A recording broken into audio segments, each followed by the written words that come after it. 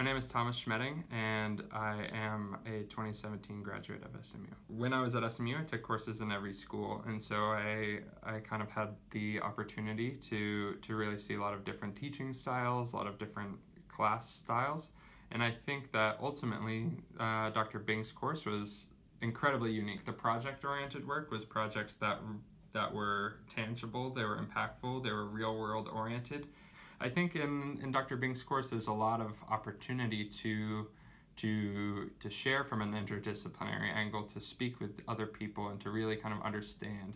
Later on in the course, you'll be working on a project that where you're actually accountable for going to meet with a client. It works a lot like a consulting project, and you are you need to kind of set your own deliverables, deadlines, and things like that.